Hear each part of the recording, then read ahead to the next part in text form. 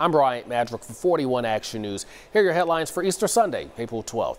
One man is dead after a shooting. Officers found him inside a car in the CVS parking lot near 39th and Main.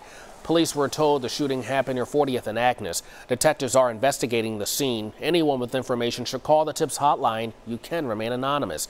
This is the 43rd homicide of 2020. That's higher than the same time in the last four years. Kansas City Mayor Quinton Lucas said he wants to invest in community policing and hire more detectives to combat crime. The Kansas Supreme Court ruled in favor of Governor Laura Kelly's executive order banning groups larger than 10 from gathering in places of worship. The Legislative Coordinating Council overturned the executive order earlier this week. That's when Governor Kelly filed a lawsuit to stop the LCC's actions. She said it's all in an effort to stop the spread of coronavirus.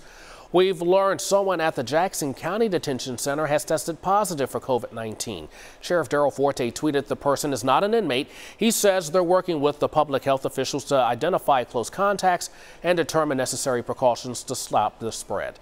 Missouri has 4,079 cases right now. and 117 people have died. That's a jump of just more than 125 cases from Friday. Kansas has 1,275 cases. 55 people have died, an increase of about 70 cases Friday.